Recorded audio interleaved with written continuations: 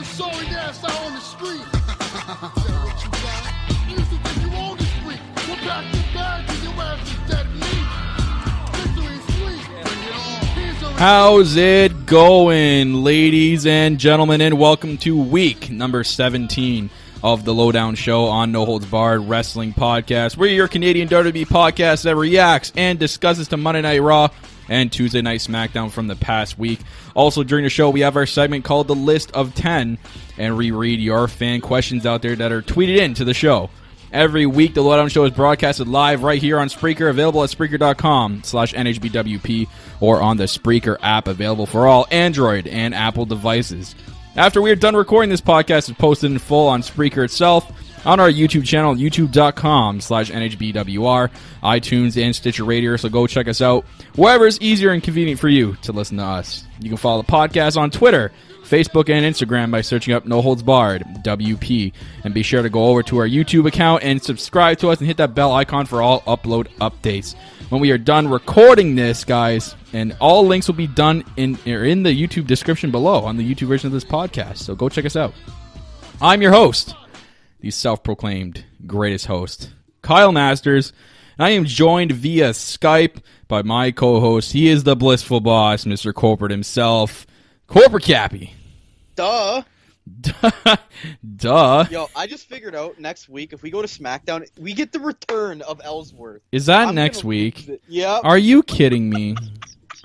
No, it's not. I, he's he's free in like a day. He's free. You do not just say he's free. He's free in one day. Man, that is gonna be hilarious next I- week we I am not going to look forward to that. I'm telling you right now, I'm not going to look forward to that. Why not? He's gonna help Carmella win against Naomi next week. The match is already booked. Yeah, but that's just a regular singles match, not even a title match. Uh, may, maybe he'll cash. She'll cash in after. Can you Oh imagine? my she God. in uh, next week when we were there. I'd probably lose it, but then I give no credit to Ellsworth because it was definitely all from my all my girl. Yeah, right. I'm interested to see what they do. Can you imagine he comes back and they suspend him again? Mm. he gets suspended for another three. Like, we're just gonna keep suspending you until we figure out what to do with you. I think I need to make an Ellsworth is free sign for Tuesday. You need to copy Carmella's shirt exactly. You need to like find a print of that face, get a black Bristol board and white crayon, write free at the top of it, and just hang it over the rafters. Try to make something work because we'll yeah, we'll see. That'd be hilarious. Um, But yeah, so speaking of next week, we're going to Raw for sure. We already got Yep. tickets. Raw and well, yeah, we're no Raw for sure. SmackDown we're still trying to get to, but both is in our uh, in Toronto, which is basically an hour away from us. So we're pretty excited for that. So any of you guys out there listening and are going to Toronto, you know, our silent f- followers that remain anonymous, um, we're gonna be there. So come check us out. I'll be between where our seats are. Come say hi, talk some WWE, and look out for us. I'll probably tweet a picture on Twitter and our Instagram of what I'll be wearing. Probably carry my uh, icy title belt as well too. Um, I'm not, I'm not sure how you're going to be dressed like for uh, that Raw. I'll probably have to rep both my girls at the same time. Both at the same time? be- It'll be a mix of Banks and Bliss somehow. Hey, sp- speaking of both your girls, um, news out of today: Bayley's hurt. She injured her shoulder, I guess, on Raw. Could we maybe? I know we're probably likely going to get Nia Jax, but maybe they they change their minds and they rework a story and add your girl back in. We get Sasha Oh, and Alexa God. again, Great. and next week we'll, we'll, we'll see it because that'll be the beginning of it. God damn it, Bayley! Like, why does she have to be? What What did she even do this week to get injured? It has something to do with her shoulder. I know. I have to go back and look. Uh, Michael Chow's in the chat. Michael Chow TV, the podcast. Go check him out, guys. He's on Spreaker as well. He's got a wrestling podcast. What's going on? The host from the West Coast. Michael Chow. we are looking over your document, and we're gonna talk. We'll We'll get in contact with you and talk Yeah, about. speaking of that, guys, because next week me and Cobra Cappy look like, or most likely going to both Raw and SmackDown. The long Show will not be next week. We have something special for you guys, and me, us, and Michael Chow are working on a d- fantasy draft special for you guys, which we're either going to be on Spreaker or YouTube Live. We're still getting that in the works. But look out for that sometime next week. We're going to try to get our schedules together and get that for you guys. So no lowdown show next week, just to let you guys know if you're wondering if there is going to be one. Yeah, it's gonna be the special draft video, just like last year. I might do a small vlog of our time at Raw. Maybe that. Maybe I'll put that on our YouTube channel. So look out for that. Yeah.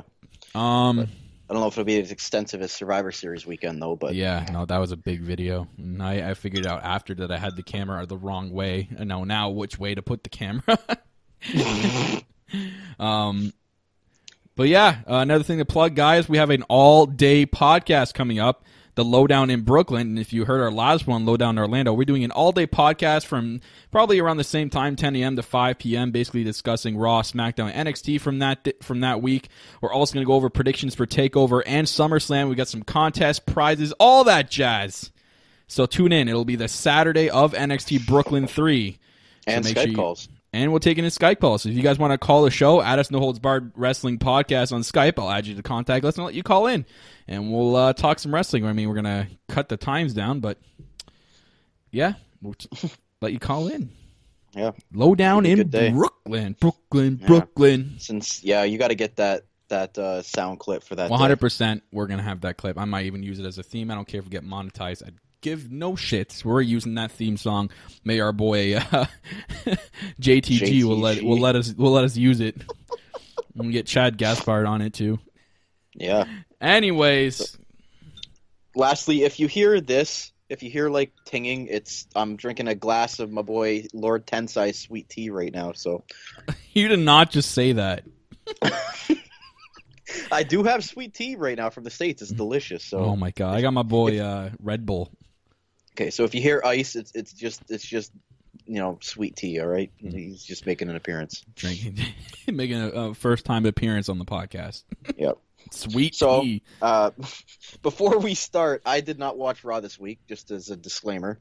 So Yeah. you're going to mostly talk over Raw, and I'm just going to give you my general inputs of the trash dumpster fire show that we saw this week. Well, it was pretty bad considering that I went over it with you in two quick minutes before we went live on the air, and like literally is just the gist of it. When you have a show main eventing by Big Show and Big Cass, you know it's going to be a fucking dumpster fire. Um, we got uh, Michael Shell Creative in the chat. He says Alexa Bliss versus Bayley match gets a call off, gets called off. Ooh. Alexa appears at SummerSlam and issues an open challenge. Asuka accepts the challenge after losing to Ember Moon the day before at Takeover. Oh God, woo! What like a put in prediction! the chat, Asuka would destroy Alexa. So let's hope that that does not happen. Yeah, it's probably gonna be Nia Jax. It's gonna be Nia Jax. You know, she's not like most girls. or maybe you know, maybe they should give Mickie James or Emma a chance, but you know, probably not. Especially Emma, who's like all over Twitter right now with this "Give Emma a Chance" thing. She's like reposting like really bad posters people made too. like, Of like You know her, she's- Jason Jordan. Yeah. you know, she's bored when. But seriously, give Emma a chance, man. She's finally back. She got handed the worst gimmick ever with the Emmalina gimmick. And then they changed her back to the heel, and they're just like, ah, fuck, we're not going to use her anymore. Like, poor Emma. Yeah, I know. Speaking of North Diva, I don't know if you're going to talk about this as Sunday Night Heat, but do we want to discuss the little backstage possible cameo we saw this week? Yeah, um, I'll just talk about it now because it ties into what you also read before the show. Um, there's a, and if anyone has WWE on Snapchat, or if you have Snapchat for that matter, um, there was a there was a one snap of uh, was it Dasha Fuentes? Is that what her name is? Uh, maybe it was Charly Caruso. or Charly Caruso. Anyways, one of them, and then she's about to uh, do like an interview on Snapchat, and she's talking to the people behind them, going, "What are you guys looking at?" And like this, you can see this figure in the background standing up and then walking past, and literally, it looks exactly like Paige in like full ring gear. It, it's like it's really dark, so like, and she her she's really pale, so it's it sticks Yeah. out. And everyone's People saying it's it Sasha. Sasha. because of the I don't sunglass. think It's because of the, the sunglasses in their head, but that's really pale for Sasha. If you guys know Sasha Banks, she ain't that pale. Camera or not, she cannot be that white on TV or a, a video phone. So I don't know, man. It, it- I think it might be Paige. Maybe they maybe Paige threw on Sasha glasses on top of her head to throw people off and make it seem like it was Sasha Banks. But even if it's Paige, what the fuck is she doing? Why was she in full know, ring maybe- gear? Was Maybe that she was having a meeting with Carano or something. I don't know. Anyways, um, and speaking of Paige, what you read to me before we even went live here, apparently her and Del Rio are set to are prepared to set the record straight, um, uh, tomorrow on uh, Sirius Satellite XM Radio. I think it was. You said it was uh, Yeah. Bub, Bubba Ray, Bubba Ray's. I don't know. Bubba Ray's going to be on a show with somebody. I don't know if Bubba Ray hosts the show. I can't find the article anymore. But Oh. But Uh, apparently but they're going to yeah, set the record straight. I'm sure we're going to get a bunch of other posts by other media outlets about the, the, the getting clearing stuff straight. Again, you can go on a radio show and you can sit behind a mic and say everything's okay, but you're not going to get everyone to believe you. You could seriously be just controlling Paige to go on a radio show and just tell tell everyone everything's okay. It's bad. Yeah. It's just you you can't do anything to clear the image because Paige's family has come out and said publicly that they think Del Rio is the worst for her and have seen Del Rio like be physical with Paige and don't think she he's right for her. So when you have Paige's family do that, I don't think they would just come out and bluntly say that. They're not that type of family. They're looking out for her daughter. So as much as they want to clear the air, no one's gonna believe it. People are gonna see through the bullshit. So I, I'm gonna listen to it. I'd love to see what the fuck they have to say about this, but we'll see. Yeah, I, I really don't know what they have to say. But I feel like, like you said, it's going to be mostly bull crap. So apparently, Michael Chow says on WWE's Instagram they confirmed it was Sasha Banks doing a zombie photo shoot, which is why her skin was so white. But then you got Trey Patterson at Trey Patterson on Twitter in the chat. He says I thought Sasha Banks wasn't even at Raw this week.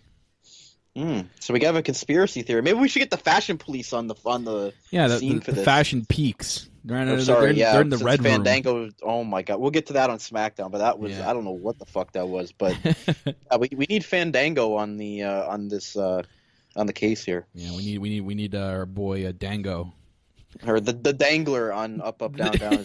The Dangler. oh god. Anyways, anyway, let's uh let's jump into the uh the reaction, I guess, or uh discussion about uh we'll start with Monday Night Raw.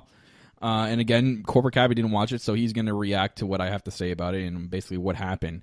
Um, so we opened the show when we're in Pittsburgh, so obviously we are going to get Kurt Angle. Kurt Angle's hometown. He's a hometown boy, and they always give a good reaction to Kurt Angle. He opens the show, and maybe the most lackluster opening to Raw. I don't understand why they ha- they have to have the GM come out and and tell everyone what's happening tonight. Why? wh- Why? You you do it anyways with the fucking promos. like the promos before they go to commercial break, they like they basically show what's happening throughout the night, and the, the people in the crowd can see it. So why the fuck have them do that? I know again what happens after is is probably a reason why, but they could have had something else. They could have done something else, man. I, I was just like, it was so. It, Kurt Angle's becoming extremely scripted, man. Like the whole him saying I he made the crowd say broken freaking neck when he say he because I guess uh, Monday was the exact day he won the the gold medals like 21 years to Oh the my date. God, that's funny. and he like made the crowd say broken freaking neck but he like said it slow and like was trying to get the crowd to say it with them and I'm like oh my god man. Usually you just say it. Like now you're just becoming too scripted and it's just oh it's bad man. And now when he says it's true it's and he slows down and waits for the crowd to like catch up with him like just say it god It's like his Hall of Fame speech all over again. Seriously, it's wearing it as Hall of Fame speech every goddamn week on Raw. Um, but Brock Lesnar interrupts him, and uh, he makes like a massive announcement, which kind of plays into the whole UFC rumors and uh, Jon Jones from the UFC coming out and calling out Brock Lesnar. But uh, basically, after the whole spiel by Paul Heyman, he says that if Brock Lesnar doesn't win the Universal title at SummerSlam, he's walking out of the WWE, and Paul Heyman is walking out with him. Wow, Um, wow, that is huge, eh? That, that, that's a- that, that's a big statement. That's probably the only thing that relevant that happened on Raw. so now you have a huge fatal four way at SummerSlam with the Universal title. Now you get adding this into it. This is it's making it more and more huge, man. That's definitely going to be the main event come uh, SummerSlam, 100. percent Um, so now for sure we get Brock Lesnar dropping the title. now, if it wasn't already bluntly obvious, it, it's even more obvious he's dropping the title. And He's then- gonna go accept John Bones' challenge. He put on Twitter, "Be careful what you wish for, little boy." Yeah, but then I also heard a rumor that he's definitely performing at WrestleMania next year. So But it could be like the Mark Hunt thing. He went over to the UFC and fought Mark Hunt while he was still contracted over WWE.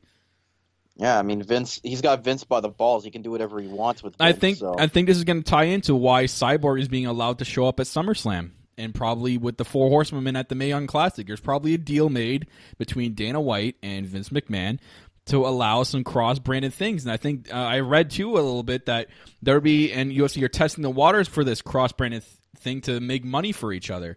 And we know Derby is apparently broke as fuck since they're making all these cutbacks. So why not try to make more money? Yeah. I mean, it makes it more real, I guess, if they're putting UFC in there. Mm-hmm. I mean, might get some UFC people to tune in. Who knows? So yeah, but I think we're we're getting a title drop by Brock Lesnar, 100. percent Uh, I think so too. And yeah, I I don't. I, hope don't think he's getting pinned, but I. I hope think it's not Michael Cole's boy, the big dog, Roman Reigns, hope- to win the honestly, title. best case scenario, Roman gets pinned by either Strowman or Joe. Yeah, it's not going to be Lesnar. That's it's No. Lesnar not being pinned. It, it leaves a, a opening for him to return to the. WWE. He's So- not. He's going to lose the title, but he's not. You know, personally going to lose it himself. He's, it's going to be someone else in the match to lose it for him. Um, so the rest of the three, besides Brock, had a triple threat match tonight, which everyone thought, in, including myself, that Brock Lesnar was going to interfere and just cause havoc. But this match ended up being at the ten o'clock hour, and I'm like, what? So then, what the fuck's the main event? And at that point, I'm like, oh, okay, so we haven't seen the woman yet. I thought the women were going to be in the main event, which turned out not to be, and we'll get into that later. But the triple threat match was at the ten o'clock hour, and it actually was sick. I loved it, and I'm like, why the fuck was this not the main event?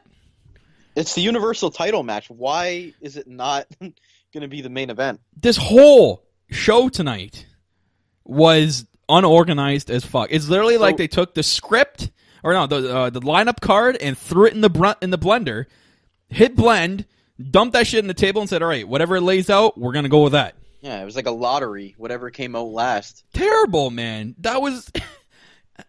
and apparently, I read or I heard some podcasters talk about. They said it because they did it because they knew about the drop off in the third hour, so they wanted to get that match out of the way so people would actually watch it. Or maybe you make some good freaking TV and have people stay for Right? the third hour. You have no excuses for lazy TV with a roster that you got. You have the best roster you have in I don't know how many years, but you continue to make excuses saying, "Oh fuck, we have three hours. What the hell are we gonna do? We might as well push the main event to the ten o'clock hour." That's bullshit.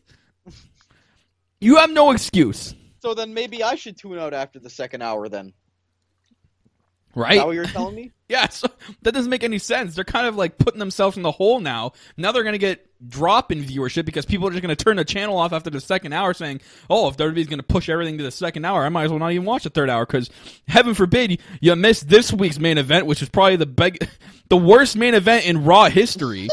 Big Show versus Big Cass.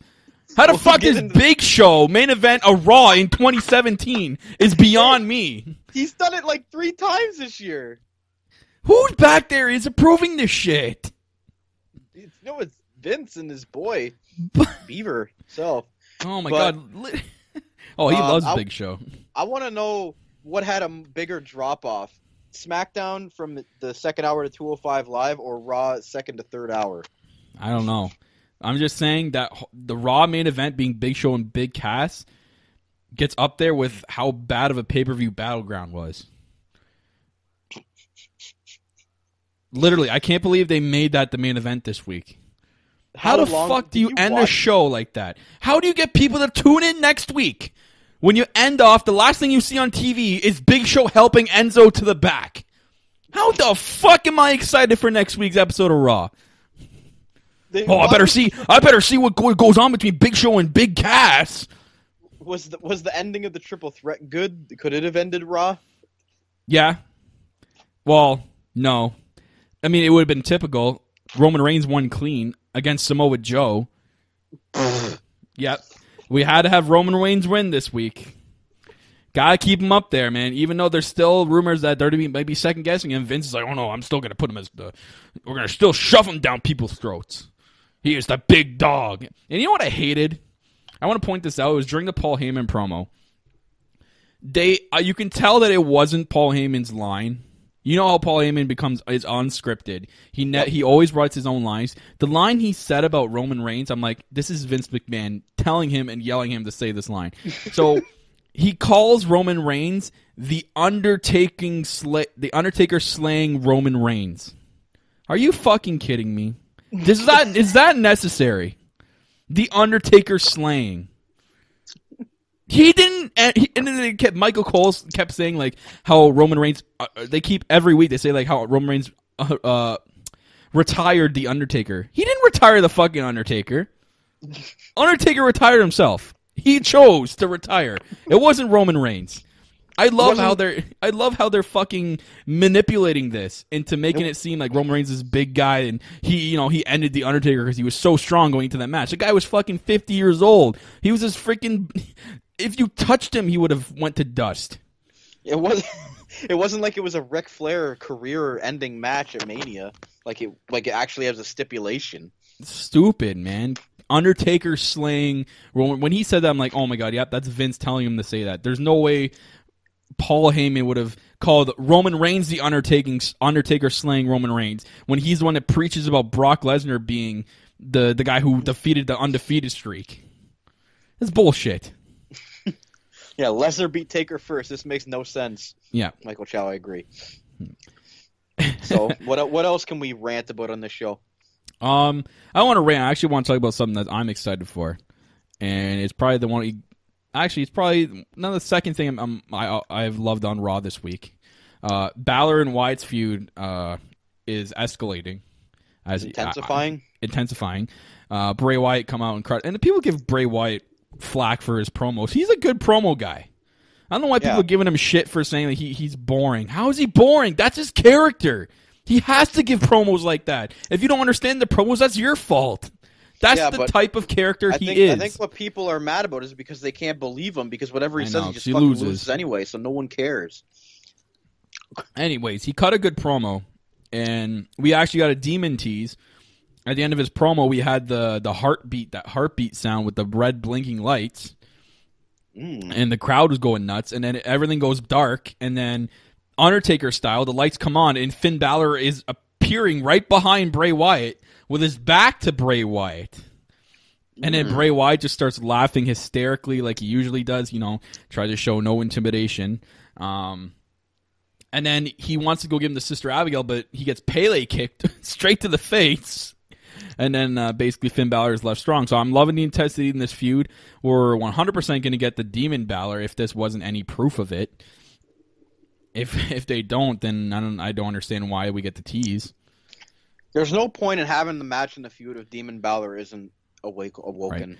this. Balor Club Balor versus Bray Wyatt's boring as shit. Yep. I want to see the Demon. We're going to get at SummerSlam. I cannot wait for in this match. Man. It's gonna Both be these sick. guys, and people are not giving this this enough credit. Both these guys are incredible in the ring. You know what?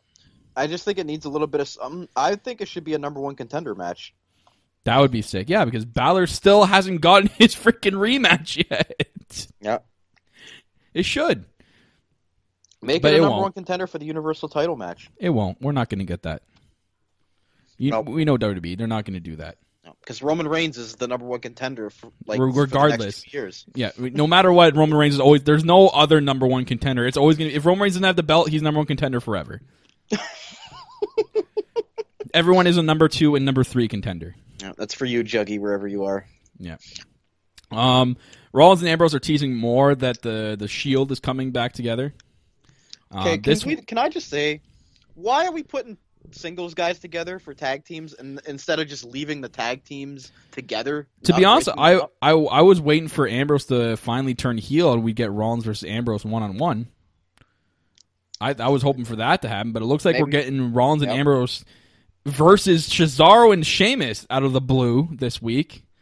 Um, oh, they're guess- back finally. Well, I guess after Rollins and Ambrose kind of had like a a weird conversation backstage, and it left Rollins alone. They were seen making fun of Seth Rollins, calling him, um, "Oh, what the hell did they say?"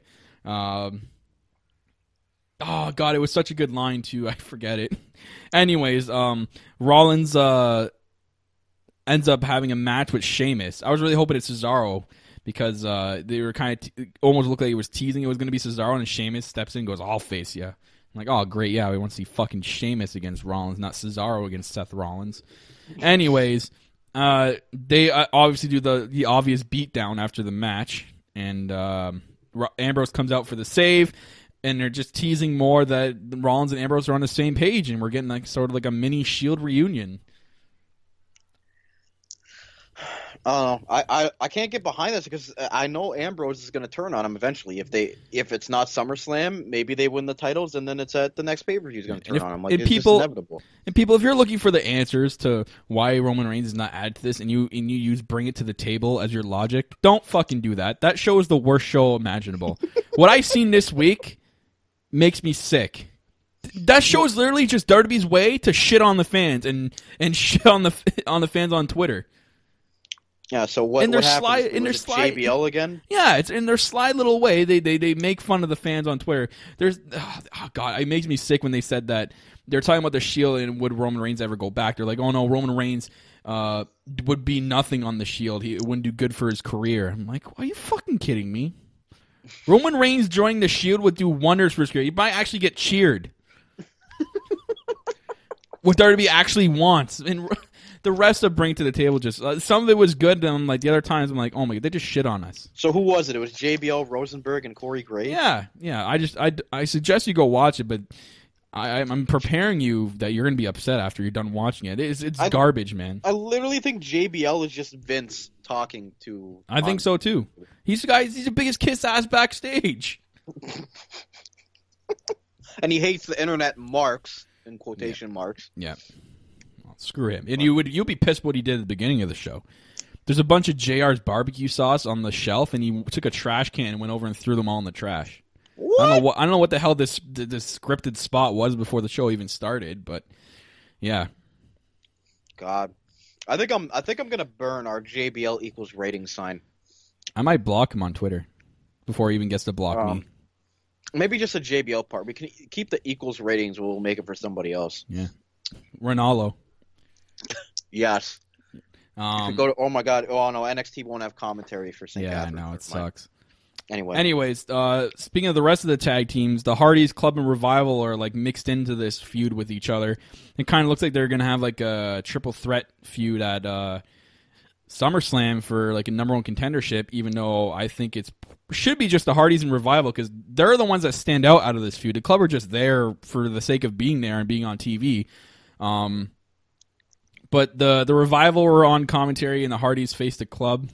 It's a fucking cycle with this feud, man. It's the Hardys versus the Club, the Club versus the Revival, Revival versus the Hardys. Like that's what we're getting every goddamn week. um.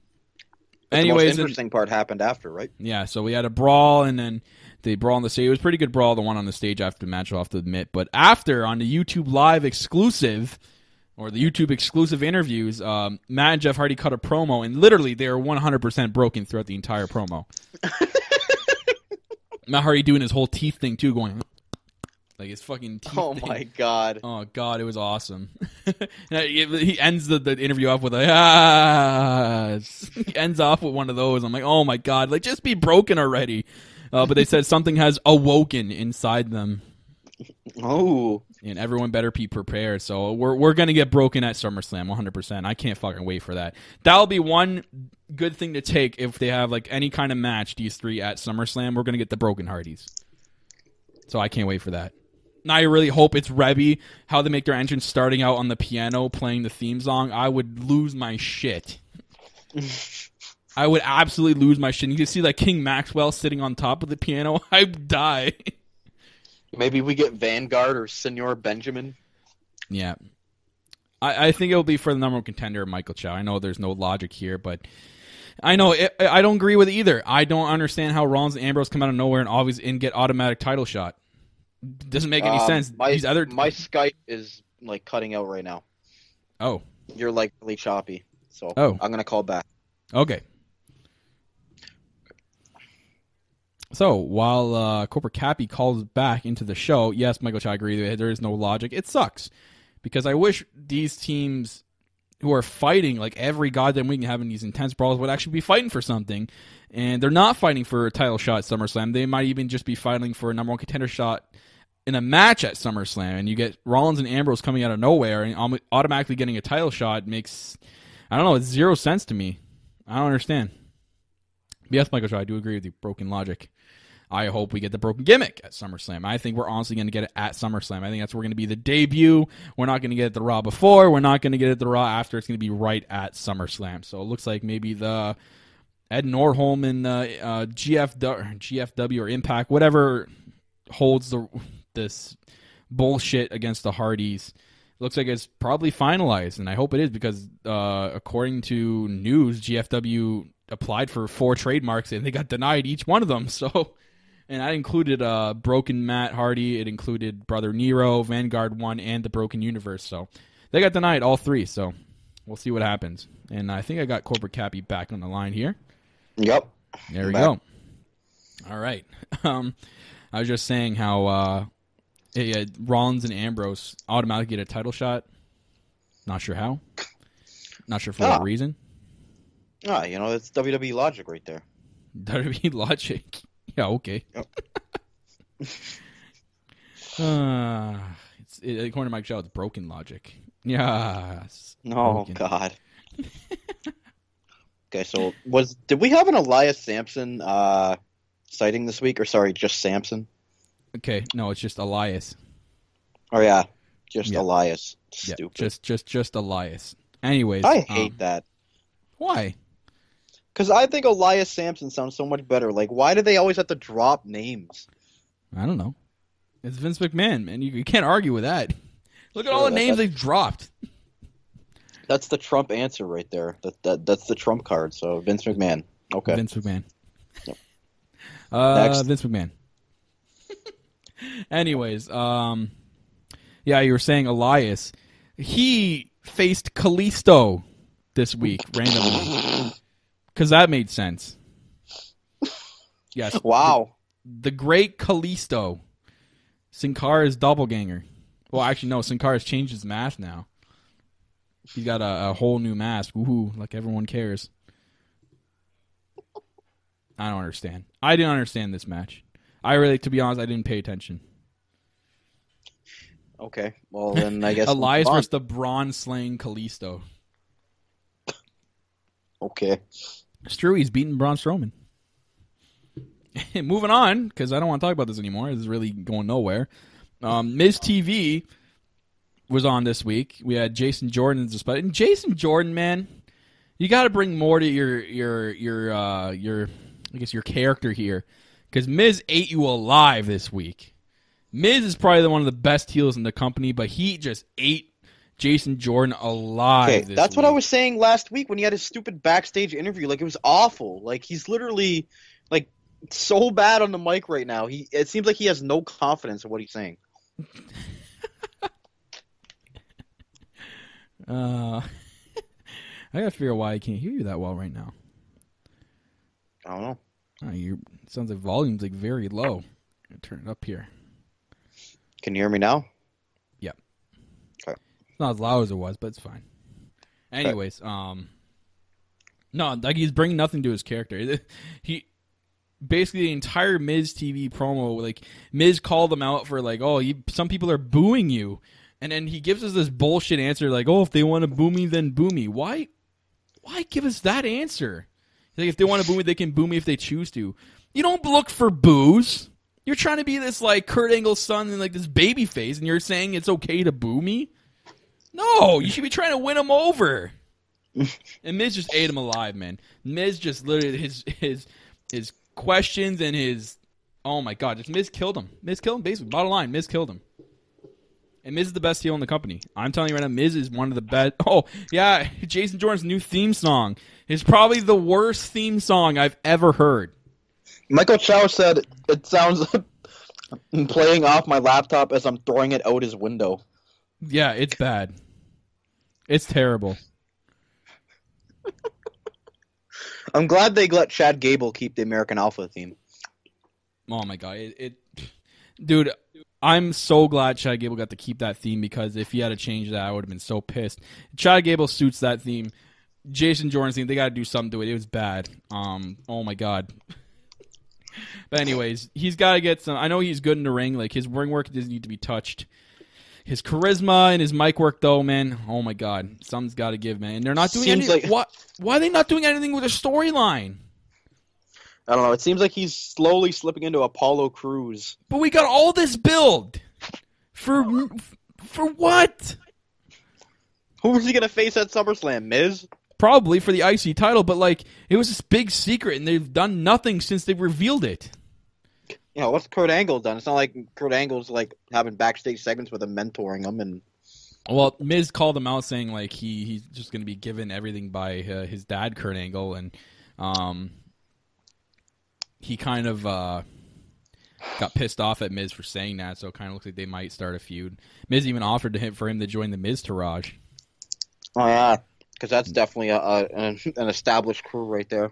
Yeah, Michael Chow talking about Big Cass's remix theme. Oh my god, it's bad. It's so bad. His theme too. Both new theme songs that debuted this week are garbage. Yeah, Absolutely garbage. like he says, is CFO Dollar Sign not writing or you know producing the songs anymore? I don't know, man. Like something's got to give. Like it's bad. they gotta we- rework those two. They're not their best work, definitely. We did have one bright spot. I really liked the new Usos uh, rap part in their in their song. The rap part. They have, yeah. Like oh they yeah, have, that's they have right. lyrics now in their song. I like it. yeah. So like it's the same. It's like a rap into it that they that they made. It's actually really good. I like it. hmm hmm But as for Jason Jordan's theme, God, terrible. Way to kill a guy's push before it starts. My God. It's like Cesaro again, all over again. Remember when he came out with the whole siren thing? We're like, oh yeah, way to kill this guy's push Yeah. as yeah, the Paul guy. yeah. Oh, Um, there was a useless cruiserweight match in Raw this week. Some six man tag that I really don't give a shit about. And I'm not going to talk about it. And do I want to talk about the main event? No, I don't. I do not want to talk about a main event of Monday Night Raw after wa- sitting there for three hours and you give me a fucking main event of Big Show and Big Cass. So you know what I'm going to end off with? I'm just going to end off with talking about the woman. That's it. After that, we're going to go right into SmackDown. I refuse to talk about a shitty main event. your boy Anyways. was in it. No. Anyways, the woman. We had uh, Bayley versus Nia Jax this week. Big Show does not equal ratings. Tree Patterson, stop it. Yes. Anyways, My boy, Bayley and Nia. Jax fought. Uh, this is apparently where she got her shoulder injury because now she's legitimately hurt. This is not a work. So she hurt her shoulder. And Nia Jax probably being unsafe as man. She's huge in the ring, man. It's so hard for her to be safe. Uh, she's a little bit too aggressive sometimes. I'll have to admit. So what what was the spot that I don't know. I have on? to. I literally have to go back and and see. Don't you just wrote in the chat Paul White for Universal Title? Are you serious? you guys trolling me right now? Of course. Anyways, corporate. uh, so now yeah, so it's not going to be Alexa Bliss and Bayley now. It's definitely thrown out the window. So are they going to turn Nia Jackson and Alexa Bliss? Even though they they kind of started this friendship between the two. So is Bayley for sure done? She well, sure, she's legitimately injured. It's a legit injury. Yeah, but she's got three weeks. Ah, maybe they know. Maybe it's a bad injury. Maybe it's uh maybe the doctors say like she's gonna need more time. I don't know. Maybe we'll see. We'll have to find out next week when we see in Toronto. Maybe we get the match and like Alexa like squashes her in fucking two minutes. God, that would be awful. That would be great. Can that That'd be please happen? terrible. What are you talking about? Be Why would I want to see my girl get squashed in two minutes? Because I would love to see my girl squash cringely in two minutes. Cringely. Yeah. Well, kind of agree with you there. Um, But I yeah, think they're having know. to I be. think the Nia thing would be interesting dynamic. I mean, One thing I want to point out, um, I think the Raw in Toronto and SmackDown. I think they're going to announce WrestleMania 35. if that's the case, I swear to God. I'll be so pissed. Because why Honestly, else? I Why, why? Why would it be in Toronto two nights? Usually they would go to I mean. I Ottawa. I think they're doing it as a test for the Raw and SmackDown after Mania. Like maybe they're doing it as a test to see if, if yeah, I can you know that. Toronto can handle two straight crowds like that. Yeah, I can kind of see that happening. Yeah. If we get it Um, announced on Tuesday uh, or Monday, I don't know. I don't know how I Hmm. feel about Toronto having a WrestleMania, but I'd be pissed. I think I'd be initially I'd be pissed, but I'd be like, you know what? I want a better experience. I want to go somewhere else to experience WrestleMania. I don't want to go like an hour up, you know, hour to a next city and then go to WrestleMania. It's it, it ruins the fun. I know it saves money, but it ruins it. It ruins the experience. does. So maybe it is. I think I kind of agree with you there. It's probably a test to the test whether they can host a Raw and SmackDown after WrestleMania and see what kind of crowd they can draw. I think they're going to sell out, to be honest. I mean, look what they did. know. Look what they did for Survivor Series weekend. Fuck, they sold out all three shows. Oh yeah, they had Takeover, Survivor Series, and the Raw and SmackDown, didn't they? No, they had Raw. SmackDown was in Ottawa. Oh, that's right. And they had the the NXT people show up on the SmackDown. Yeah, I remember that. Um, but yeah, that was Monday Night Raw. I'm not talking about the main event. Seriously, I'm not talking about the main event. I don't want to talk about it. Oh, you're gonna talk about it to end a later. show. Probably the worst way to end a show. I don't know what the fuck They- they were thinking. They ended the show off with a big show. with with Big Show helping Cass up the stage. Like, are you kidding me? Or I think it was the other way around. helping Enzo. Oh yeah, helping it. Like, I don't know. It was just bad. How do you end the show? Like, how are these guys main event worthy? Are they? Who approved this? Did Vince go home and there's like, oh, now we're gonna fuck with the show? How do you approve Big Cass and Big Show in the main event? I bet you Big Why Show's is- like, why the? F- I bet you Big Show is even like, why the fuck am I in the main event? Who's gonna stay and get excited for that? Like, why is Big Show main eventing three Raws in 2017? It's god awful, man. This is probably the worst thing ever. This is the worst ending to a Raw I haven't, I've seen in a long time. Does this have to go on the Slammy nominations somewhere? I, I might have to write it down. Does it go in cringe moment or worst match? This might be worst a feud. cringe moment because it was. I think it has to. I think it has to be a worst feud candidate. When I realized it was the main event, I was cringing for 15 minutes straight. Anyways, uh, SmackDown this week. Uh, okay, if one thing I can say about SmackDown, it's good. There's too many fucking commercials. and the they have the most un like untimed commercials ever. Like they don't even say they're going to commercial, and all of a sudden they just cut the commercial in the middle of a match somewhere. there were some moments where like the, the commentator stopped talking and then there was like a sequence for 30 seconds and then it cut to a commercial Like they have the worst timed commercials ever. I don't understand why their commercials are so different than Raw. but there's too many i feel that smackdown has way more commercials in in, uh, in a two hour gap than raw has in total in a three hour show i honestly think smackdown gets shafted and gets way more commercials I think Vince sees that he has too many advertisers to try to make money. He's like, how can I fit all these guys on Raw? Oh, I know. I'll just shove them all on SmackDown because I give two shits about SmackDown. And then we miss the good crop of the match that actually happened. How do you go to a commercial before the the Cena and Nakamura match? How do you honestly go to a commercial even throughout the entire match? They had a commercial mid match. that match should have had no commercials whatsoever. Yeah, it was good for the people that were there, but it sucked for the millions of people watching at home. If they wanted to make, if they wanted it to be such a dream match, they should have said, you know what, for the main event for this dream match, we're not gonna have no commercials for the entire. This was thing. fucking ridiculous. I can't believe how many commercials are on a, on a, a SmackDown on a weekly basis. It literally p it drives me insane. I was getting so pissed watching this. like no self Phil was over watching that. He he was laughing how mad I was getting. I I I, I put out a GIF of me like sma- a panda smashing the computer. I was literally almost at that point. Anyway, It's so we open they opened SmackDown. Okay, if they open SmackDown this good, and I saw a lot of people uh, talk about it on Twitter, they need to open SmackDown with a match. None of these need- segment crap like Raw does. And they opened with the U.S. title rematch, and I'm like, okay, this is how you start a show. This is how you get people invested, and this is how you get people to start and keep watching. They open with Kevin Owens versus AJ Styles, U.S. title rematch. Even though I don't agree with the U.S. title being defended for the third time in three week or two weeks, so third time in two weeks is being defended. Battleground, SmackDown last week, and SmackDown this week. Yep. Um, it was actually a really good match. These guys actually can put on a decent match, and I'm excited the feud is now continuing to SummerSlam, which I honestly thought it was going to end after uh, Tuesday Night SmackDown this week. These guys are incredible in the ring together. My God, are Owens and Styles just unbelievable, man. These guys gel so well. It's, It's like it's like Zayn and Owens in the ring. I think oh, honestly, I'm not trying to toot Owens' horn, and I'm a big Kevin Owens fan. He can make anyone look good. He can work with anybody. Yeah, But I can say the same in about saying Styles that, too. he can't work with everybody. He can work with anybody that's like an AJ Styles or a Sami Zayn or that type of wrestler, or even a John Cena, as we've seen. Putting Owens like against like a Jinder Mahal or Randy Orton is not going to do it. That's going to be like the worst match of all time. But yeah, I agree that both these guys have such, you know, they're so diverse in their styles that And it works. We got Mike Chioda with like the best sell I've ever seen. He didn't even get hit. he got Kevin Owens completely missed Chioda, and Chioda did like he jolted back so fast as if he like he just got struck by lightning.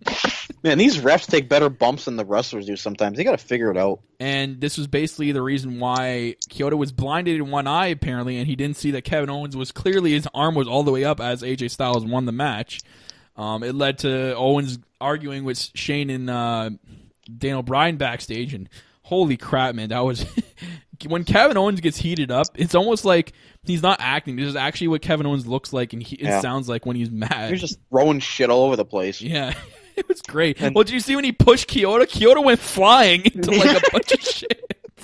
I'm like, oh shit, is Chioda okay? If I was Chioda, I'd been like, what the fuck, man? Like, So they announced the rematch for SummerSlam. I'm like, are you kidding me? Really? They're gonna continue this? Okay. I cut and then in my mind at first I'm like maybe they shouldn't, but then I'm like, oh, this saves the this saves the the opportunity that Cena's not gonna go for the U.S. title. Thank Christ.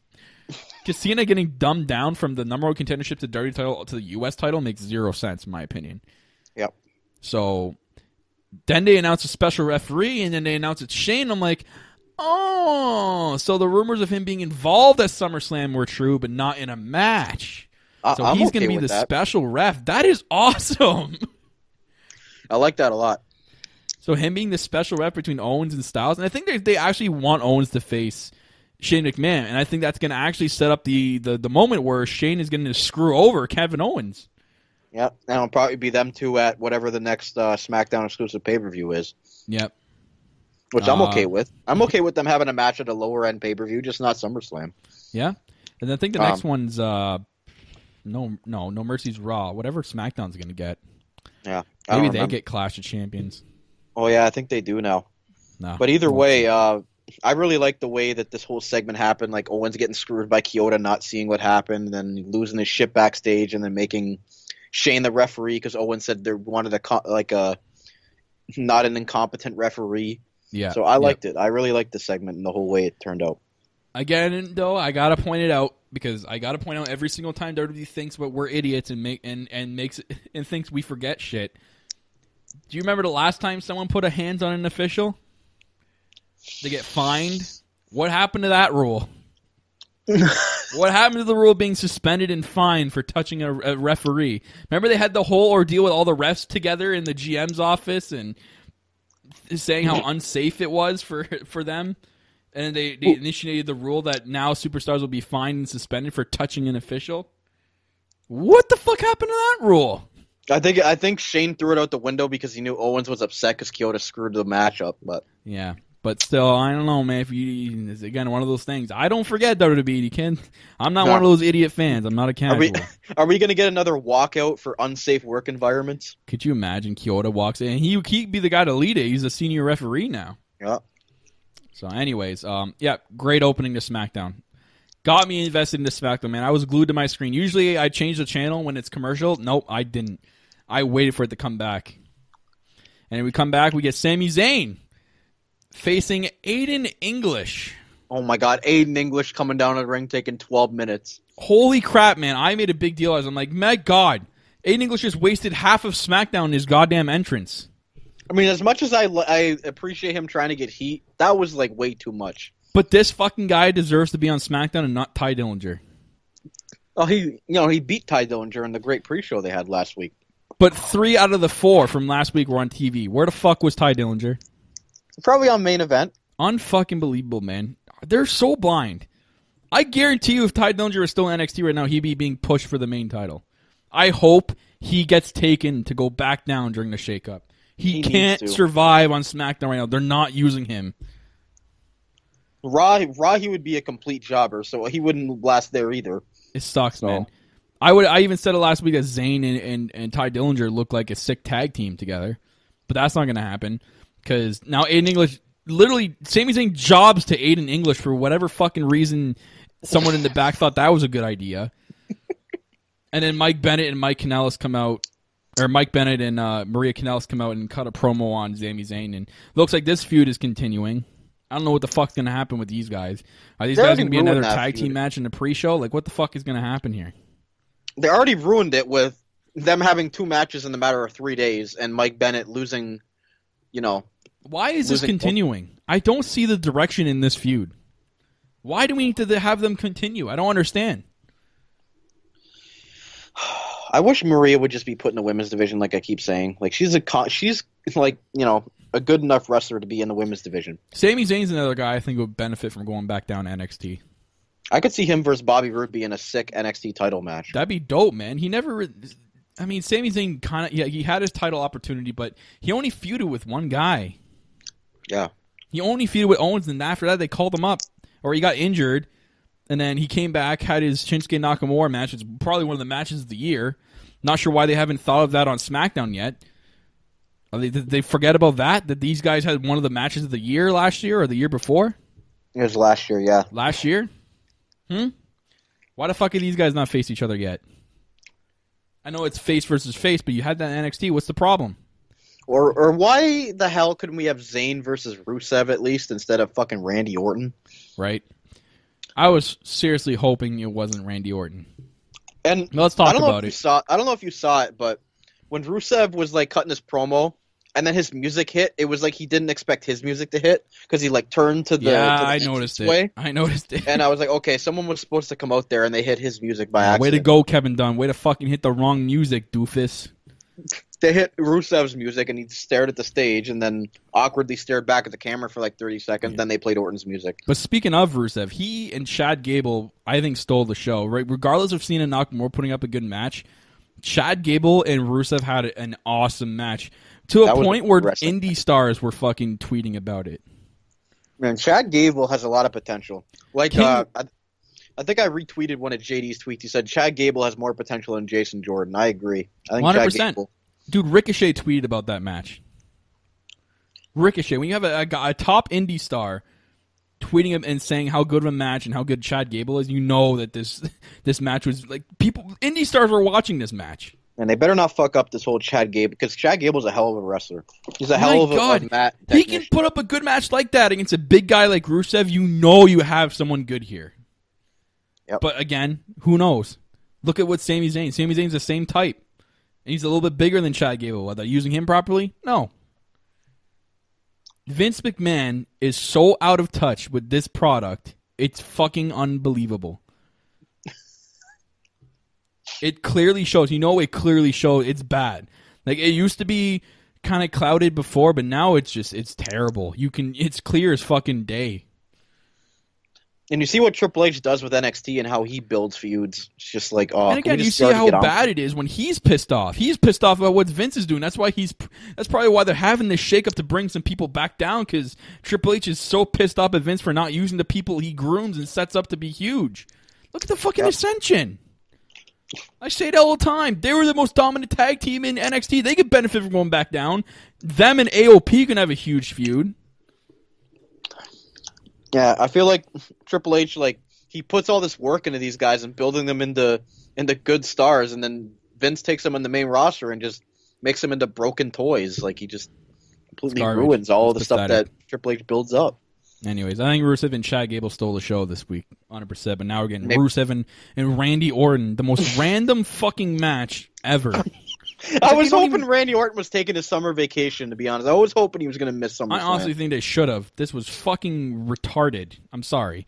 This is stupid. Why have Rusev? What does Rusev and Randy Orton do for SummerSlam's card? That should be a pre-show match, for Christ's sakes. The pre-show is two hours this year. I really hope Rusev and Randy Orton are in it. yeah, we'll go get the pizza during that. How are you going to build these guys in two weeks? Who cares? Who is invested in a Rusev versus Randy Orton match? Why do Oh, I I am. I bet you. I, I want to go and buy my ticket. I'm going to drive down and just see these guys. I think I'd, I think I'm more interested in Big Show versus Cass than I am Rusev and Randy Orton. Exactly what Michael Chow is in the chat here. Would you rather see Chad Gable and Rusev Part Two at SummerSlam? A hundred percent. Yeah. I'd rather them have a sick rematch, man. We saw what they just put up on SmackDown. That was a sick.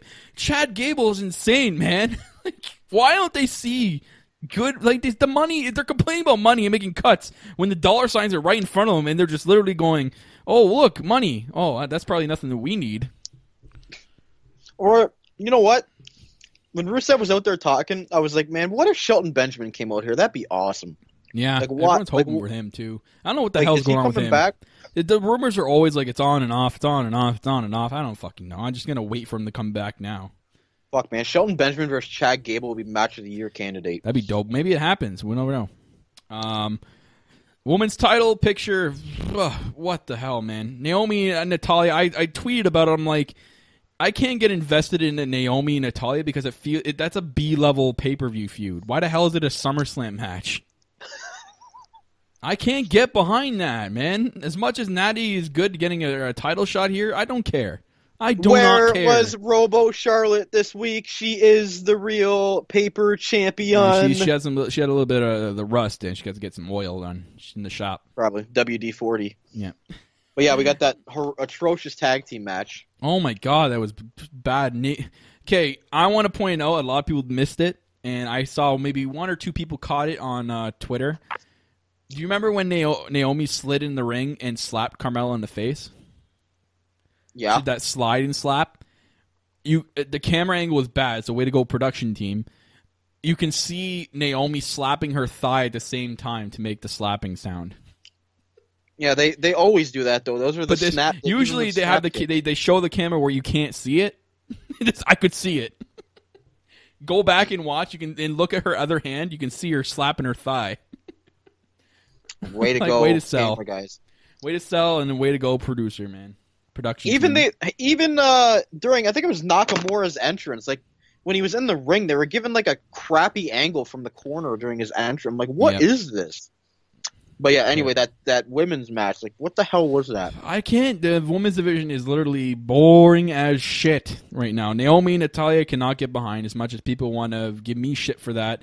I hate the fucking title. It looks like a complete. It's it's borderline like the Divas title. It's on the same. It's it's literally treading the same waters as that old Divas title. I, I hate it. it. It's disgusting. I know it goes hand in hand with Naomi's gimmick, but why why tarnish the title? Why already tarnish a brand new title? Tarnish the title that my girl Alexa built up. Stupid. Tarnish it. stupid. It's just Um, exactly when the only thing John that Cena matters- changed. The only thing that matters right now is when is Carmella going to cash in. That's really the only thing anyone gives a shit about on SmackDown right now for the To me, it looks like it's going to happen at SummerSlam because who the hell cares about that match anyways? Who the hell's going to be like, oh yes, can't wait for Naomi and Natalya to face each other? I mean, all the Natalya fans probably, but everyone else is going to be like, mm, I'm going to go take a piss, and then I'll Why wait for the end of the match, and then hear F A B U L O U S. Why I I, I, haven't pop. seen. Why can't we get Naomi versus Becky or Charlotte? Why That's can't what we I get thought, that? but I know Becky now is they're going to do something with Cyborg. Maybe Charlotte's going to be into that now. But what is now? What is Lana going to do? What is Tamina going to do? Oh yeah, apparently Lana is challenging Charlotte to a match next week. Are you kidding me? Yeah, they had like a back like a SmackDown Fallout thing back on YouTube or whatever. It said Lana's, Lana's gonna gonna face get crushed in like a minute and a half. Okay, great. Can't wait for next week. like I know people are tired of Charlotte being in the title picture, but like she makes it credible when she's there. So like, why didn't they have her be in the title picture at some point? Yeah. Maybe But- Carmella should cash in on Naomi next week. Yeah, when we're there, fuck. God, that'd be awesome. Uh, And I'll- anyways, I mean, it's gonna, and we get, we might as well talk about it next week. We get James Ellsworth coming back because he was tweeting three days. That was like two days ago or yesterday. So he'll be back next week. I'd like to see what they do with him great. Can't wait. because they announced next week Naomi's facing Carmella in a one-on-one match. So Great. can you can you give us the uh, the crickets for uh, James Ellsworth?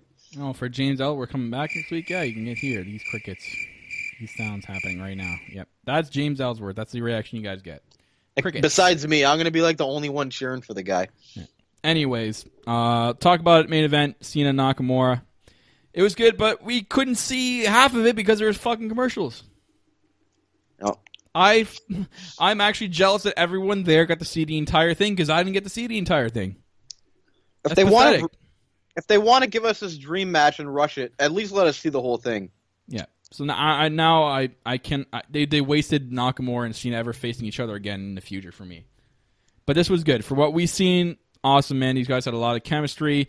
We had that big scary spot at the end where Nakamura did his uh his exploder suplex and then Cena didn't flip all the way and he landed on his neck. I think that's just a weird spot to do with a guy as stiff as Cena. Cena's not that athletic and can flip like that, so I don't think they should have done that spot. Period. That Yeah. was probably a bad idea. But I I think, cringed when I saw that. I, think Cena's all right though. So I, I didn't see anything on Twitter about Cena being injured. Um, I guess uh, even if you people even showed gifs of it after when they were shaking hands, Nakamura's like, "I'm sorry," and then John Cena's like, "Don't be sorry." Yeah, like I was, I I was like, fuck, did Cena break his neck? Because they Oh. both could have done better on that. Like, yeah, Nakamura could have thrown him better, but Cena could also learn. Like, Cena knows how to land. Like, come on. I think Cena should have been like, you know what? Maybe we shouldn't do this spot because I don't know if I can flip that far. Yeah, like he shouldn't be doing that to some guy as big as Cena. Like that's Maybe like early awesome. John Cena, but now that he's built up, uh, that's a big spot for him to take. Yeah, like I, I honestly thought he was like he was laboring after him. Like, oh my god, Cena just break his neck. Right? Yeah, that would have been great too. going into uh his big movie and that. But I'm so happy WWE went the smart route and they made Nakamura win. I'm so happy they did that. If they had John Cena win, I'd man, there were moments where I'm like, oh my god, they made fucking John Cena win. like when he Yeah. hit two attitude AA. adjustments. Yep. Oh my god, I'm like, oh fuck this shit. I'm turning off the TV. And then he and he's about to go up for the third. He's about to roll him up for the third one, and nope, Nakamura kicks I him, was and then. so happy when that happened. Fuck. but I actually fuck, jumped was- from my couch. That's how excited I was, man. I'm like, Yeah. God, why didn't they just give this on a big pay per view, man? Look how excited I am watching this on fucking free TV. Man, you know what? I can't. I can't even hate on John Cena anymore, man. Like the guy's putting everybody over now. Right. So Like, now what does Cena do? What does Cena do going to SummerSlam? Maybe he doesn't even appear, Can you imagine? or Hmm. maybe he has a match with Corbin since you know Corbin got involved in yeah, that. I saw match. that. I guess uh, after Baron Corbin attacked John Cena, so maybe that's something for Yeah. both of them to do. Wait, can I also add that they? they- I switched to 205 live, and it's still like the ending of SmackDown. I'm like, what the fuck is this? And then they have that whole ending still. I'm like, why didn't they show that on actual SmackDown TV? Why did I have to switch over to 205 Because we have too many goddamn commercials and we miss most of SmackDown. Oh my god! So yeah, we got yeah. that afterward. That was a pretty sick segment. Like Nakamura celebrating, Corbin comes and attacks him, then Cena comes out for the save, f use him through the table. Yeah, I like that. I like that. So, I actually can get invested in a Baron Corbin John Cena. That that puts uh Corbin on the map. yeah puts Corbin on the map. It makes people not think of a cash in likely to happen, which it probably will happen. I only can accept the cash in to happen is if Nakamura doesn't win the title and he cashes in on Nakamura. The only way I'm accepting a Baron Corbin cash in is if both of them are lying in the middle of the ring unconscious and then it becomes a triple threat and that's how Baron Corbin gets invested in the match. He throws one of them out of the ring and he pins whoever. Maybe Shinsuke gives like a, a last second Kinshasa to Jinder and they're both lying there motionless and then that's when Corbin comes in, throws Nakamura out of the ring and then pins Jinder for the title. Maybe they do it that way and that sets up a feud between Baron Corbin and Shinsuke for the title. We already saw that feud. It wasn't very good. Yeah, but I don't know.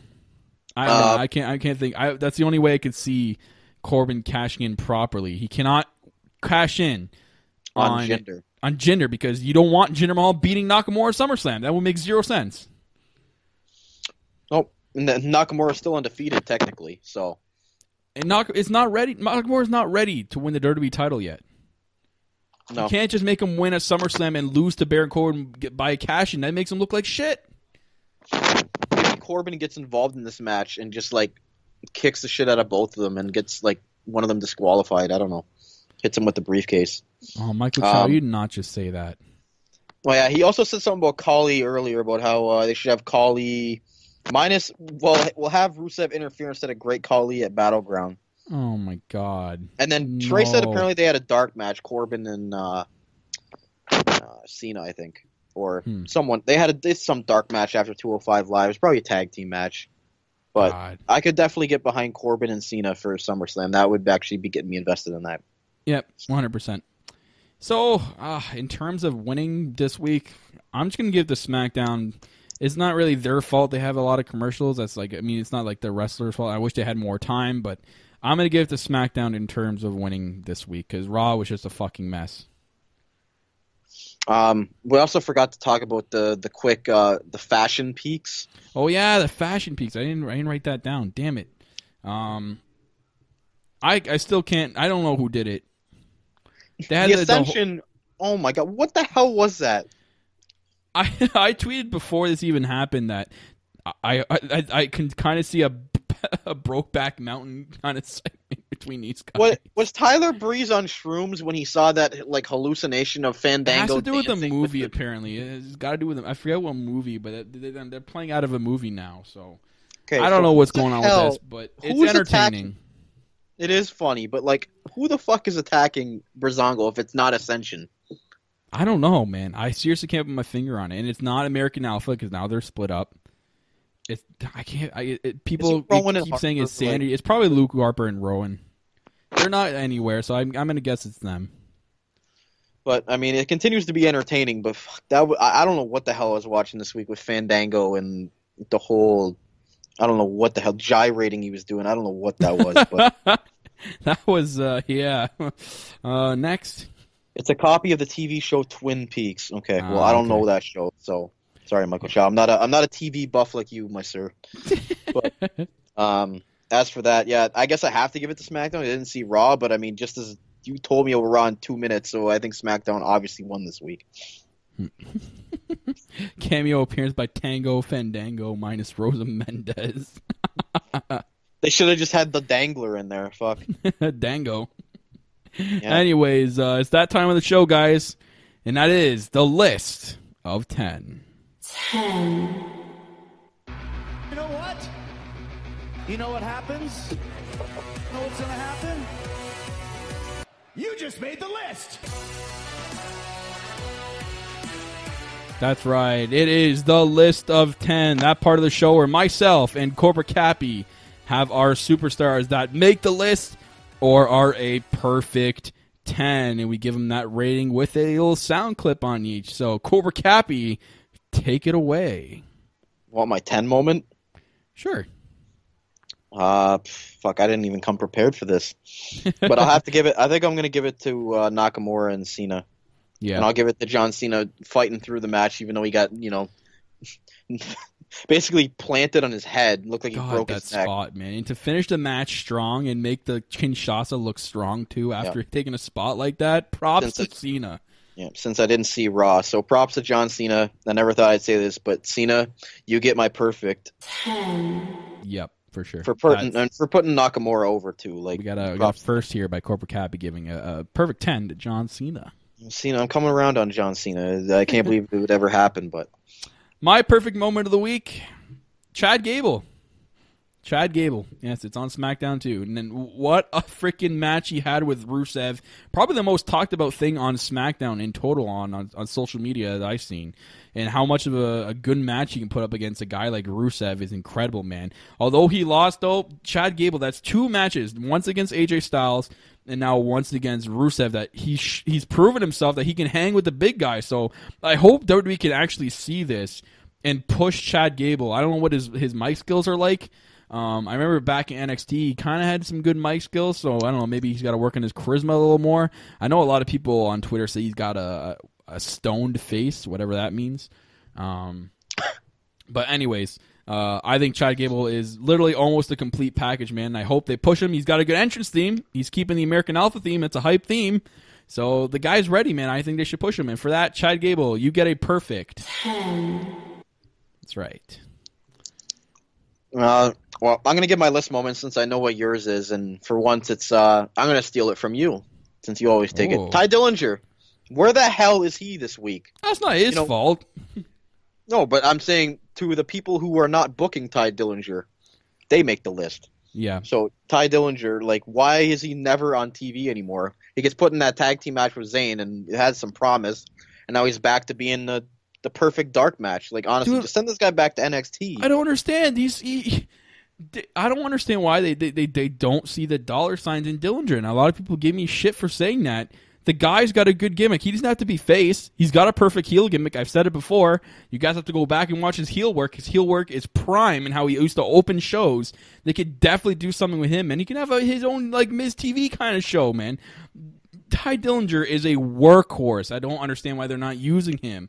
But again, I, I can say especially- that with a Sorry. I can say that with a lot of superstars that they, there's a lot of people that are workhorses and they barely use, aka Miz.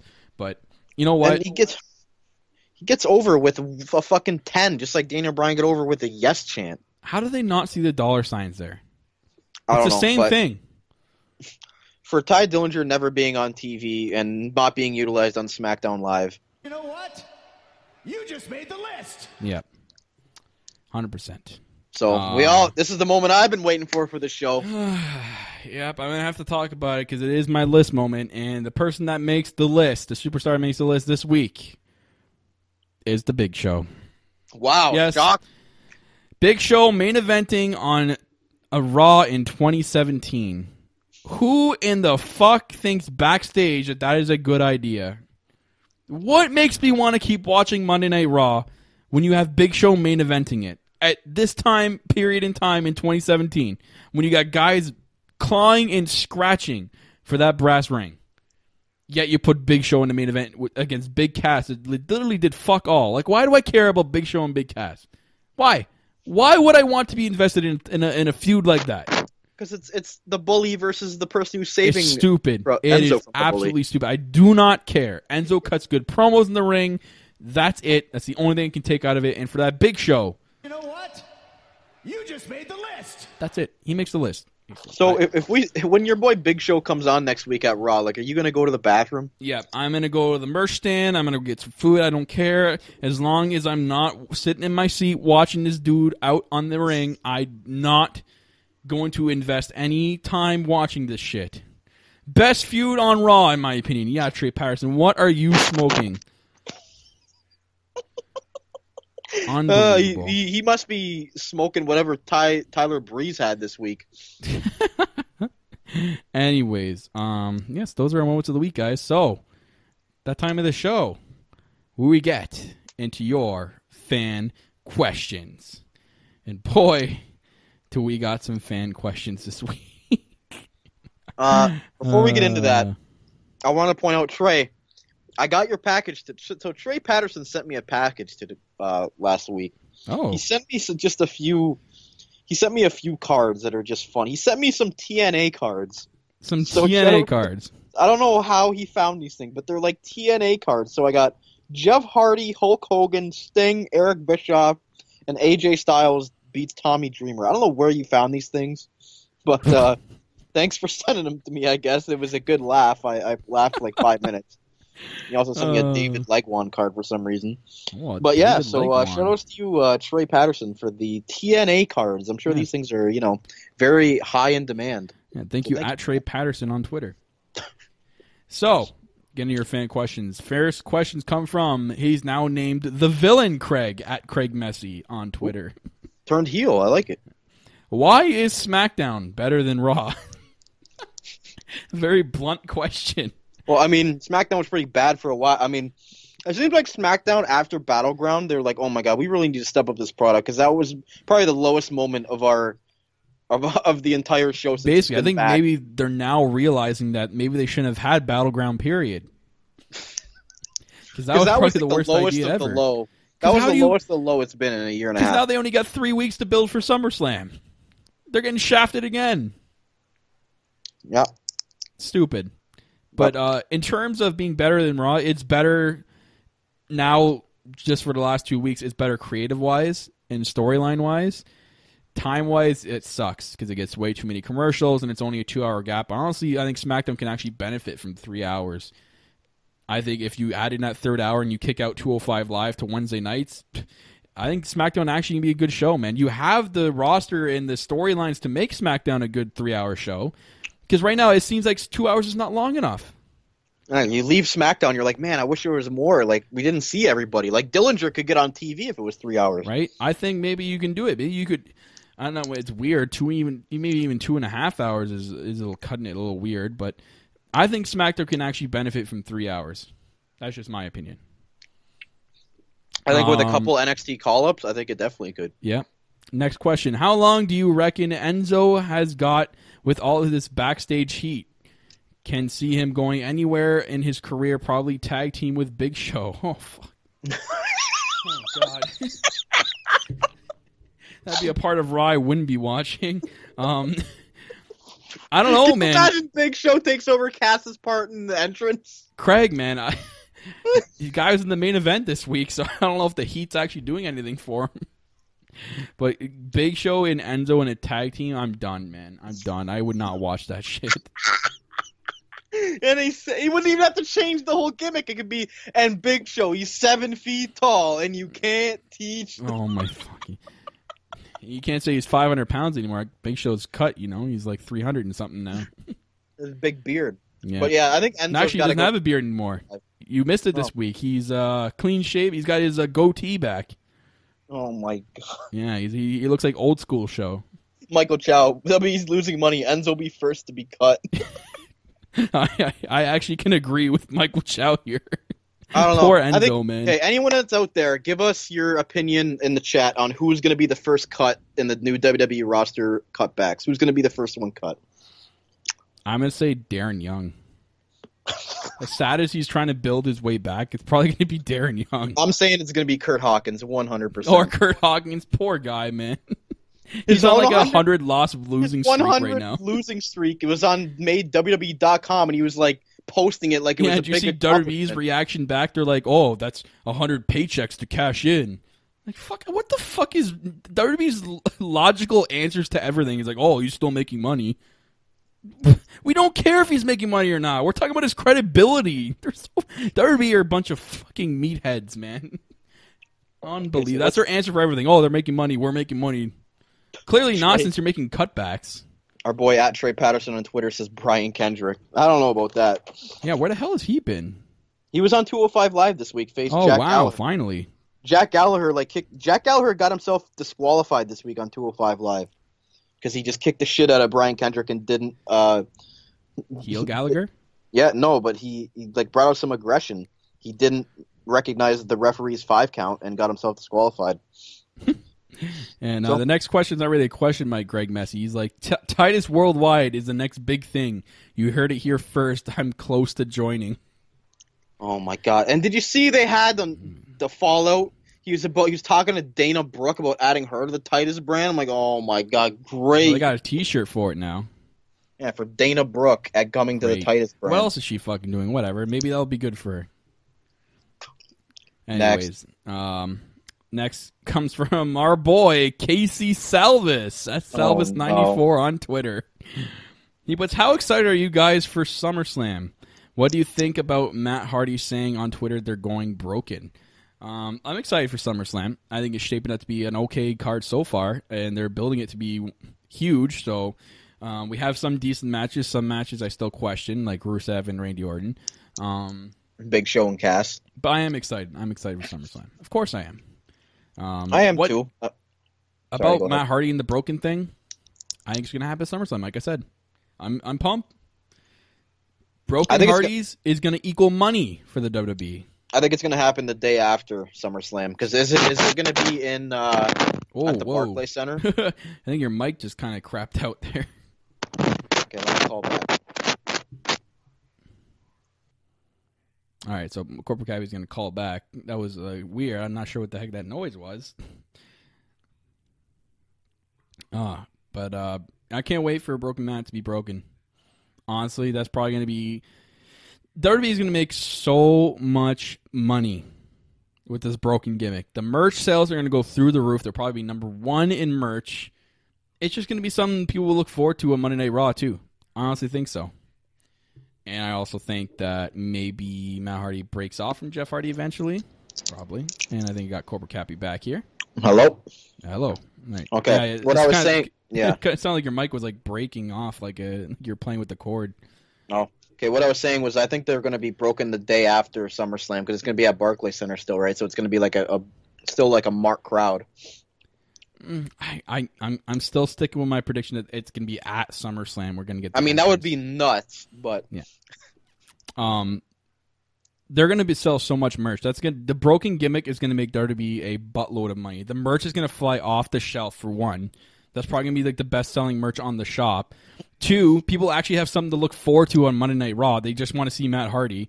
They could skip the entire Raw and just want to see Matt Hardy. oh, you don't want to see Cass and Big Show? And no, and three, um, eventually he'll break off from Jeff Hardy, and we're gonna get a Jeff Hardy singles run again. Which I mean, it's it's crazy because the crowd goes nuts for Jeff Hardy, and it's just like Randy Orton. How how Randy Orton's like the most boring person on the face of the planet and the most boring wrestler in the company, yet the crowd pops so hard for some reason when Randy Orton comes out. I'm like, why are you cheering this guy? Except that pay per view is when the Mark crowds come out. Yeah. Um. But yeah, I can't wait for uh, Broken Matt Hardy. Uh, next question by Casey. Do you think WWE should bring back Velocity and Sunday Night Heat? Love those shows. Better shows than Battleground. Well, they have main event and superstars, which is basically what Heat and Velocity were. Yeah, I think wasn't Sunday Night Heat like the the the pre-show before the pay-per-view? That's basically what the pre-show is. It's basically Sunday Night Heat. And on weeks that it wasn't a pay per view, it was before Raw, and Yeah. Velocity was before SmackDown. So. I don't know. Was it, what, didn't they bill Velocity as like a Saturday night? Yeah, I don't know. I don't want them to bring it back because it would just be terrible. Like it, Yeah. it wouldn't be good. I don't know if I'd watch it. Uh, next question. How excited are you guys for Raw and SmackDown in Toronto? Can't wait to boo Roman Reigns. This guy is still garbage, and he's got a gif of a trash can exploding out of a garbage truck. Yes, Casey, we are excited too. I know you're going, but you're not sitting with us. But and Michael Chow was like, Where did you get the video footage of the WWE writer's room? love it. That's great. But yes, Raw in Toronto is going to be I good. can't we can. wait. I honestly, I'm so pumped about being a super mark and just getting to do Kurt Angle. You suck again. Like Oh I've never God, been yeah. able to do that.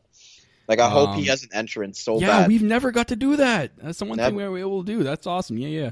Um, and definitely walk away when Big Show comes out. Um, so we're gonna go into our last set of questions, and that comes from our 2016 fan of the year.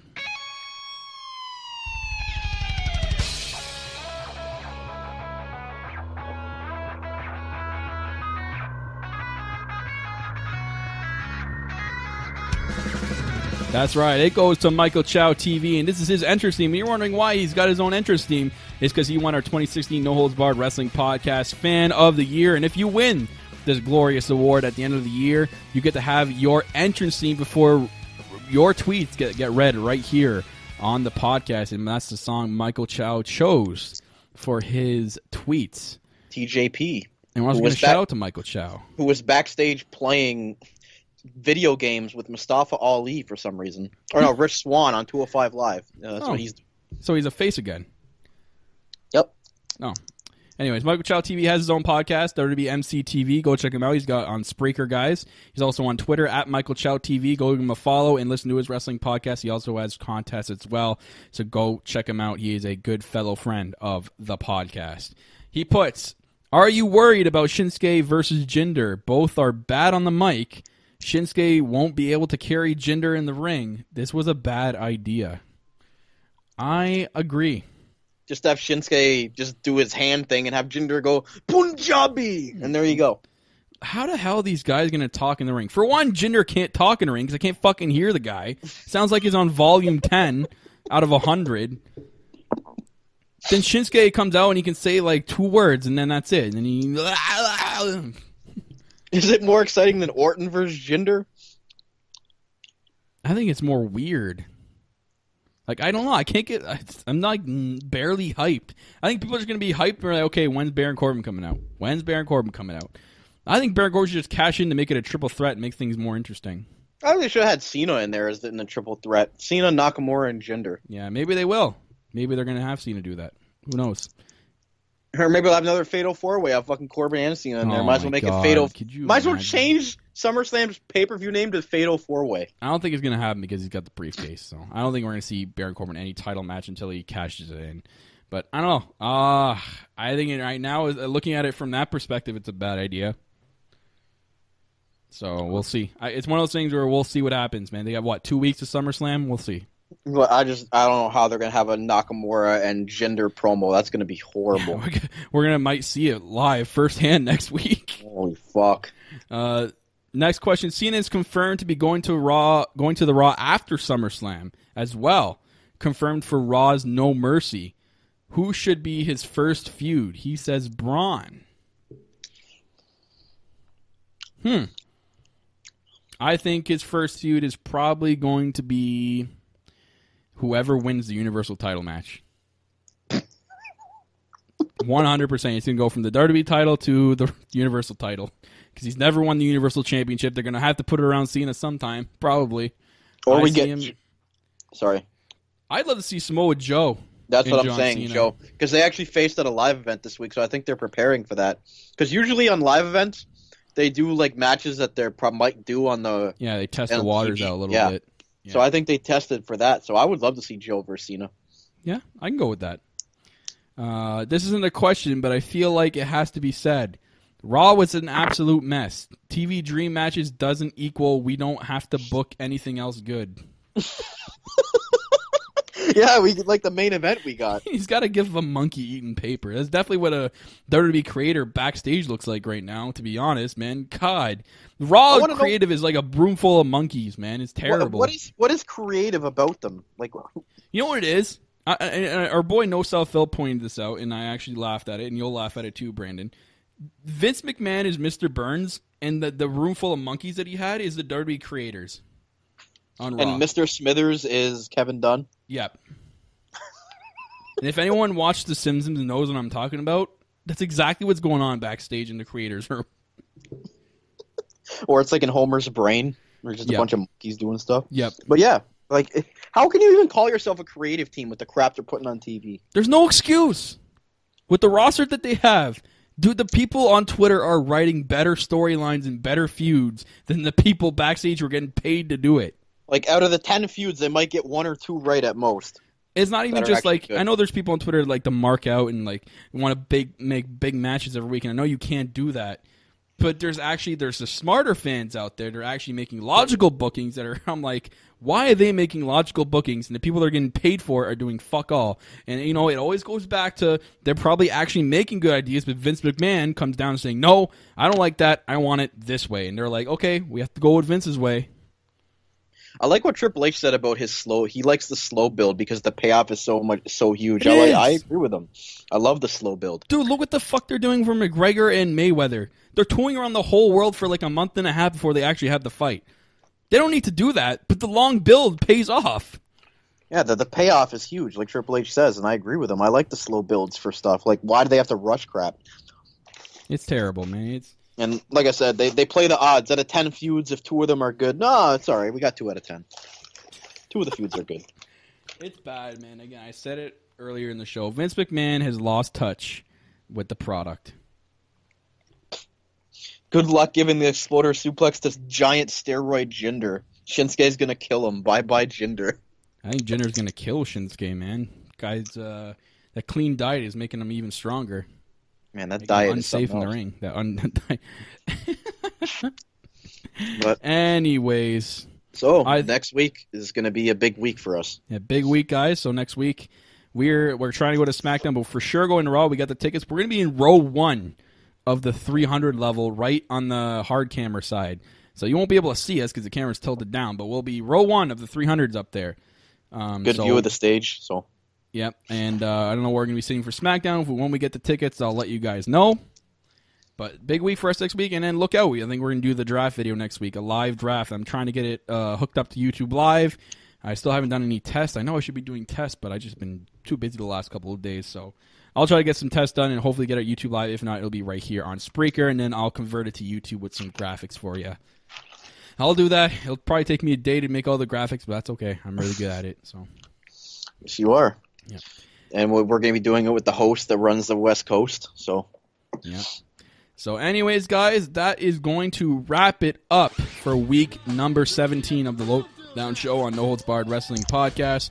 We are your Canadian WWE podcast that reacts and discusses Monday Night Raw, Tuesday Night SmackDown from the past week, Also, during the show, we have our segment called The List of 10, and we have your fan tweet questions out there that we read right here and answer on the show. Remember, every week the Lowdown Show is broadcasted live right here on Spreaker, available at Spreaker.com slash NHBWR or on the Spreaker app that's available for all Android and Apple devices. After we are done recording, the podcast is posted in full on Spreaker itself on our YouTube channel, youtube.com slash NHBWR. So go over there and give us a subscribe and hit that bell icon for all upload updates. It is also available on iTunes and Stitcher Radio for you by searching up No Holds Barred Wrestling Podcast. So go check us out wherever's easier and convenient for you to listen to us. You can follow the show on Twitter, or you can follow the show. You can follow the podcast on Twitter at No Holds Barred WP. We're also available on Facebook and Instagram. All links will be down in the YouTube video version of this podcast.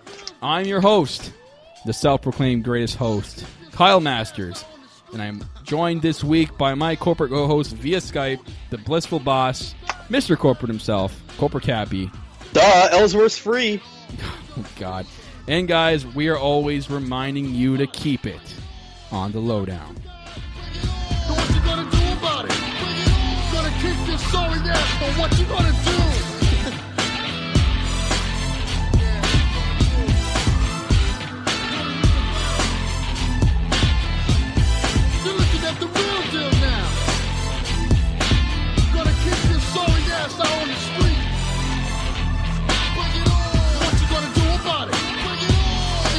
you got.